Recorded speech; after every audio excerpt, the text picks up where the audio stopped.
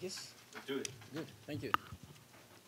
And communities, including, uh, let me say, as a country, we are making broad-based interventions driven by the conviction, the conviction that the tragedy confronting our fellow citizens is a heinous crime deserving severe punishment. The government has launched a crackdown on witch doctors and traditional healers who were responsible for orchestrating the attacks against persons with albinism.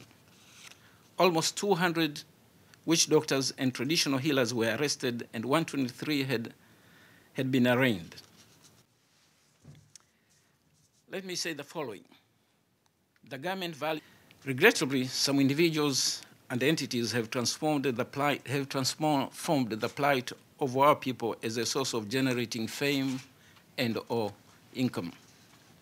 These have resulted to exaggerations, drama, and blatant disregard of the positive measures we are taking as a country and by our leaders.